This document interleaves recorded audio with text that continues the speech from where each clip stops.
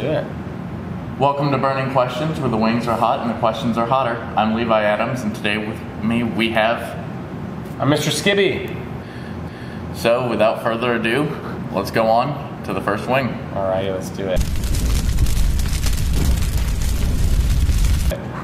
Hope you remember which order you put them in. Oh yes, this one. Okay, here we go.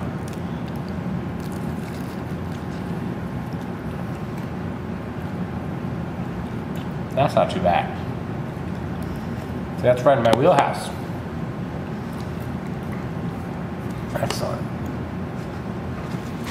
So, what exactly is your role here as a teacher at North? So, um, I am a social studies teacher. This year, I teach honors U.S. history, and I've been teaching that ever since I started working here. Um, but I also am teaching uh, economics, and then even last year I taught some government classes. Um, so I'm here basically. I, I love teaching different social studies classes. We go through a lot of cool social studies topics, and we try to apply them to our day in, day out lives. So that's that's always the goal. Without further ado, next wing. Let's do it.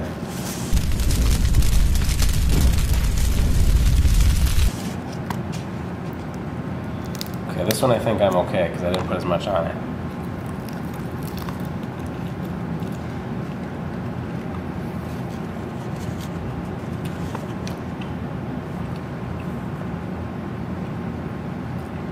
No one's got like late burn. Oh, huh. okay. Uh, that one's got a late burn to it. Oh, goodness gracious. You're in for a treat my- later. Oh boy.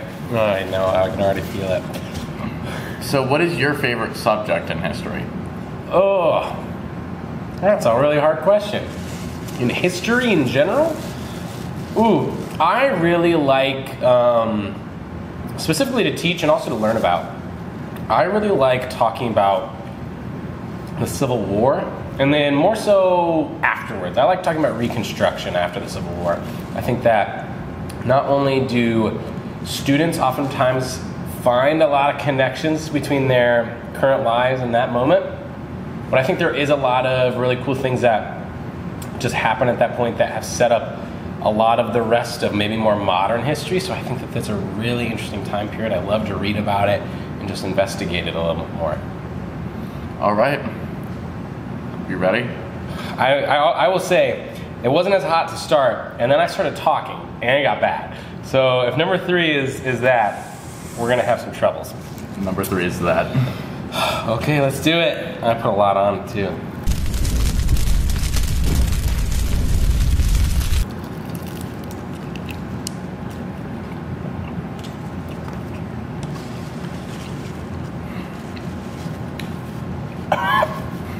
Oh gosh, yeah, that's it.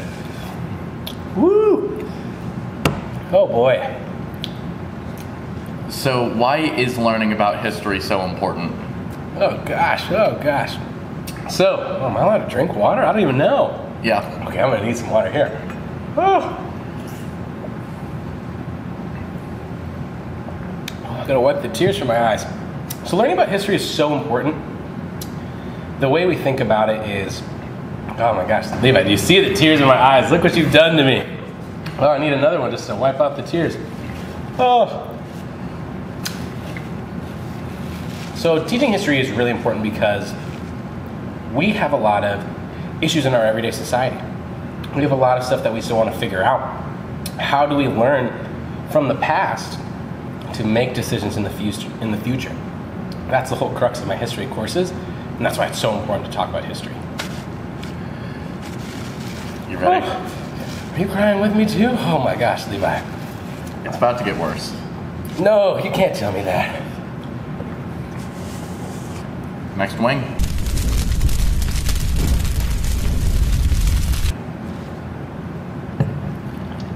Well, you're already diving in. Oh boy, I gotta separate my napkins. Oh gosh. See, it's a good thing. It's a good thing you're maybe not my student here. Oh my gosh. I'm taking a small bite.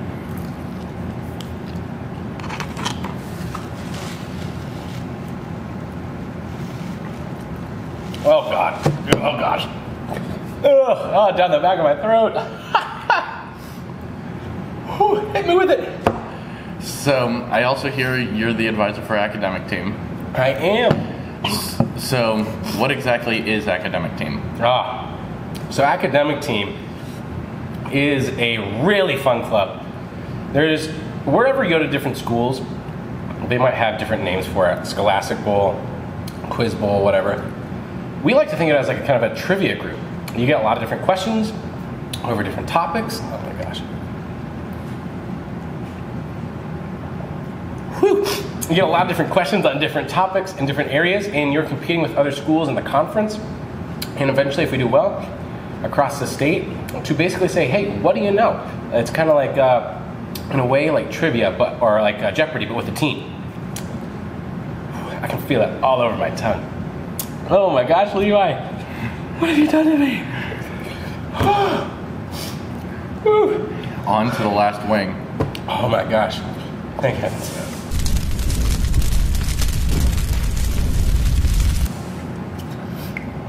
I was smart this time. I was smart this time. This wing has the least amount on it. Oh boy. Let's go. Ready? Let's do this. Three, two, one.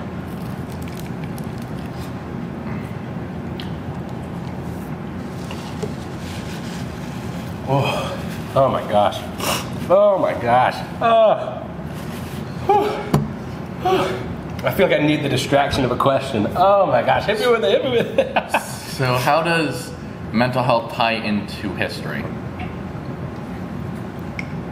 So, the, the interesting thing about mental health and how we look at it with history is that it is so applicable. We see it all the time.